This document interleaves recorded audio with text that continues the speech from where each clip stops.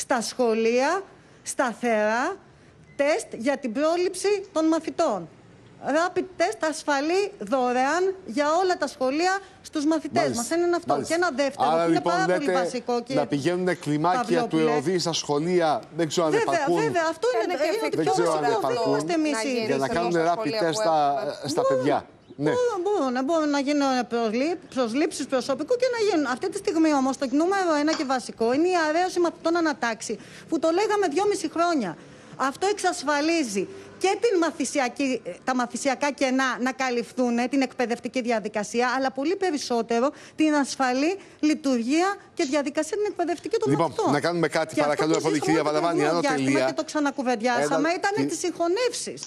Άκουσα τον κύριο Κόπτσι. Είναι λίγο πρόκληση όμως να σας πω κάτι. Αυτή τη στιγμή μιλάμε για πανδημία και δεν έχει δοθεί ούτε ένα ευρώ για την εκπαίδευση αυτή τη στιγμή στα παιδιά μας. σα ίσα αυτή τη στιγμή με τις συγχωνεύσεις κόπηκαν και χρήματα γιατί εκεί καταλήγουμε.